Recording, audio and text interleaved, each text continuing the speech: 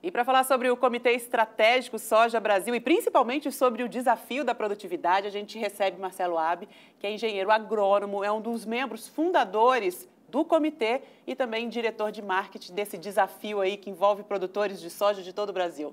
Marcelo, muito obrigada pela sua presença aqui, completando esse ano 10 anos de desafio na prática, uhum. né? Como é que foi a evolução dos números, tanto na questão da produtividade média e também na evolução desses produtores de soja que decidiram participar, melhorar a sua eficiência em campo. Ah, muito obrigado, inicialmente, pelo convite. É um prazer muito grande estar aqui com vocês para poder falar um pouquinho do SESB. É um projeto que começou fazem 10 anos e hoje, com certeza, traz muita felicidade para a gente, vendo todo o resultado que a gente alcançou nesses 10 anos. Respondendo a sua pergunta, né, quando nós começamos 10 anos atrás com o primeiro desafio, nós tivemos resultados que ficavam em torno aí de 85, 87 sacos por hectare. É, foi feito com um grupo menor de pessoas, né? nós convidamos até para testar o modelo desafio, que na verdade é um concurso de produtividade, mas o conceito ele vai bem além disso. Aí. E dos, durante esses 10 anos, nós tivemos gratas surpresas. No segundo ano, nós já tivemos um produtor em Paraná que já produziu mais de 100 sacos, 108 sacos por hectare. Numa época onde a, produtividade média era em torno de 40, né, há 10 anos. É, a gente 40, não está falando em incrementos não, tecnológicos, não. simplesmente no manejo Exatamente. que ele deu. Foi fantástico. Então, ele trouxe alguns conceitos e quebrou aquela ideia que, inicialmente, o produtor tinha um, muito receio de falar produzir acima de 100 sacos. Então, nós conseguimos comprovar que todo o processo ele tem muita credibilidade, a auditoria é feita por empresas externas. Isso mostrou que era possível sonhar muito mais. Quer dizer, no segunda no segundo desafio, ele já estava produzindo o dobro, praticamente o dobro, mais que o dobro da, da média nacional. Isso certamente chamou muita atenção e nos motivou a seguir em frente com isso. E olhando os últimos 10 anos, está claro, né? nos, próximos, nos anos seguintes, produtividades acima de 100, 110, 120, até na safra retrasada, a gente teve um resultado bem próximo de 150 sacos, 149 e alguma coisa. Né? Bem próximo de 150 sacos, que nós estamos falando praticamente quase três vezes a produtividade média nacional. O que chama atenção e que mostra que é importante que a soja tem um potencial gigantesco, que o produtor ele não pode estar acomodado a ficar feliz produzindo 50, 55 sacos. Né? Nós não queremos que todo mundo produza 50, 150 sacos. A gente sabe que isso é utópico. O que a gente quer é provocar o produtor para que ele olhe para dentro né, da sua fazenda e tente explorar o máximo possível da sua área. A gente está começando um novo desafio, né? Inscrições abertas de 20 de outubro até 20 de janeiro do ano que vem. Uhum. E o que, como é que o produtor tem que se preparar, se for a primeira vez, uhum. para também participar desse grupo e tentar melhorar a produtividade dos seus talhões? Claro. Ele está aberto para todos os produtores. Né? E convido você, produtor, que esteja nos assistindo aqui, para que você participe dessa jornada de, de construção de aumento de produtividade no país. É, porque nós só vamos conseguir aumentar a produtividade né, quando tivermos muitas, muitos produtores participando juntamente com a gente. Isso é muito importante.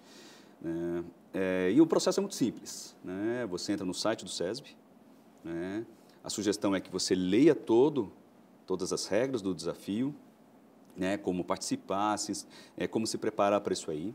É, no mesmo site do SESB tem todas as informações dos últimos desafios. Se eu quiser conhecer o que esse ganhador né, dos cento, quase 150 sacos fez, entre lá dentro, tem todas as informações, o passo a passo, o que, que ele usou de material né, de variedade, o que ele usou de, de defensivo, o que ele usou de prática agrícola. Então, tudo detalhado lá. E aí pode ser um primeiro modelo para você seguir e se é o que todos nós desejamos, que vocês aumentem a produtividade da soja na sua área comercial. Como é que surgiu o SESB, esse encontro aí há 10 anos? Vários profissionais ligados ao agro, buscando inspiração no exterior, principalmente? É, exato. É uma equipe multidisciplinar.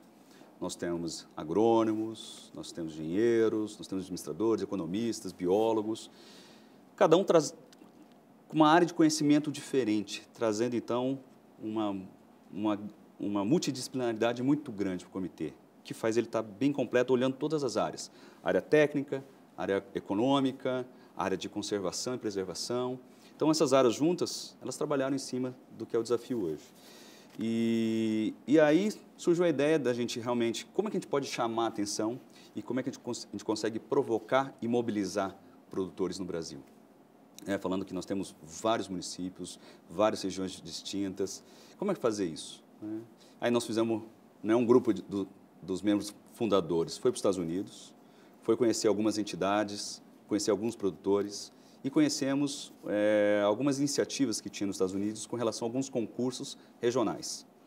Nós olhamos para aquilo ali e falamos, poxa, esse pode ser um modelo, a gente ajusta para o modelo brasileiro e vamos trabalhar com isso aqui dentro. E foi um pouquinho isso que nós fizemos. Pegamos esse modelo de lá, ajustamos para a nossa realidade, dividimos em regiões diferentes, porque não ficaria tão justo, porventura, um, um produtor da Bahia competir com um produtor do Paraná, porque solos diferentes, climas diferentes. Então, nós dividimos por regiões diferentes. E aí, desenhamos o produto que é hoje um grande, né, diria assim, um grande sucesso né, de adesão e de credibilidade. Concursos de produtividade, a gente tem outros pelo Brasil. Uhum. O que, que faz o desafio da produtividade ser diferente? Eu acho que o ponto, como eu falei para você, é credibilidade.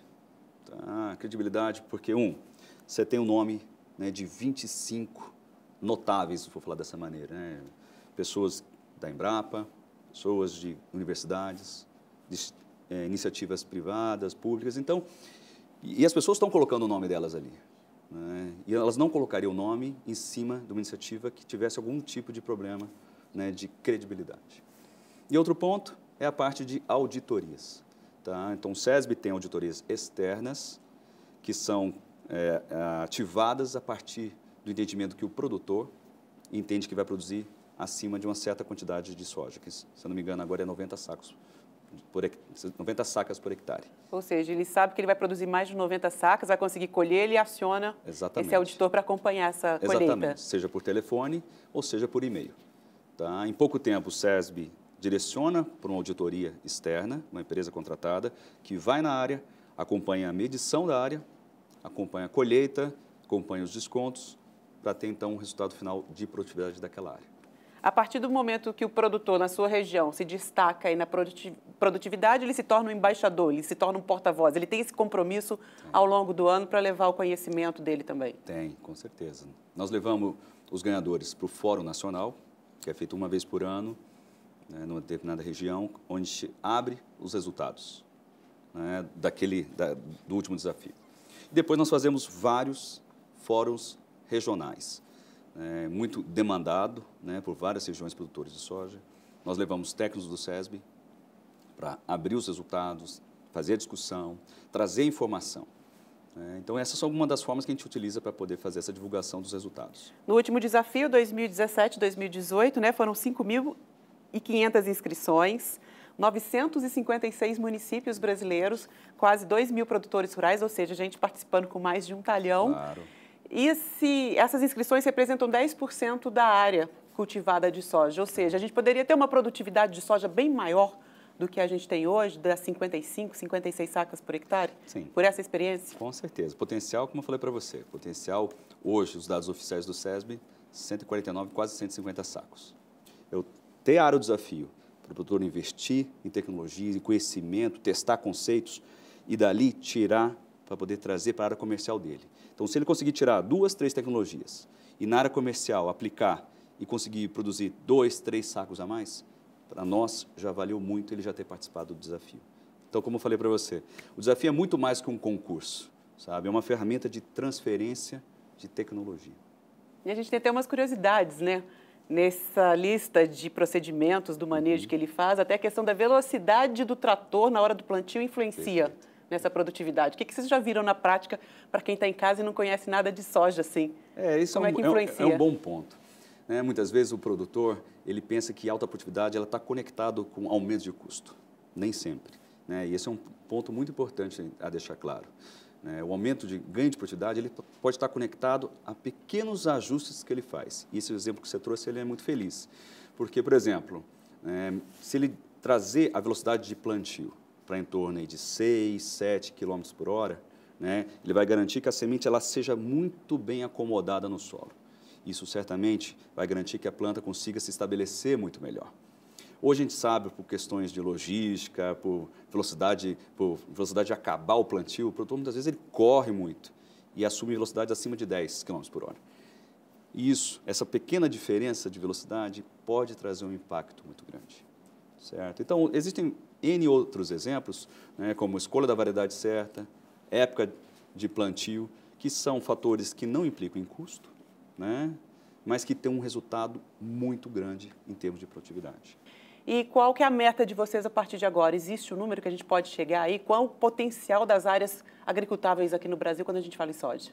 E o potencial, né, o Brasil é o país da soja. Né, o potencial de áreas para crescer em áreas, principalmente de pastagem ou de outras culturas, é muito grande.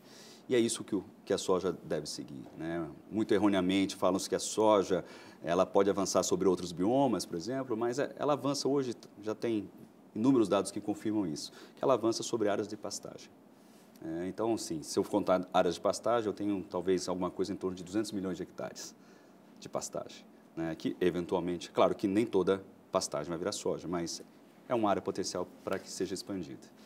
E os nossos desafios, é claro, né, é continuar trabalhando, levando a mensagem, levando as tecnologias e trazendo o máximo possível de pessoas para nos seguir.